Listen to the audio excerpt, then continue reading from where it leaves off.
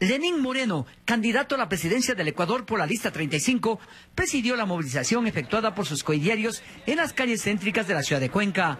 Aquí, sus partidarios le mostraron su evidente adhesión.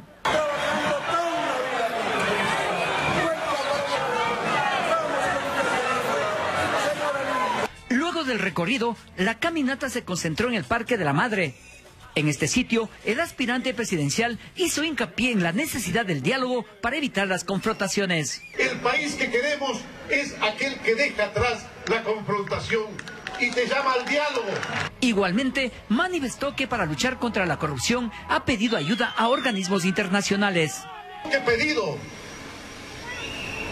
a Naciones Unidas, a Ban Ki-moon y ahora al doctor Guterres que necesitamos una cirugía mayor a la corrupción.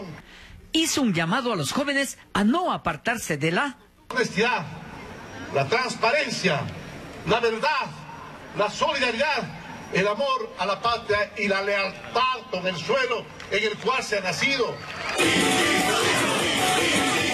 ¡Una sola vuelta!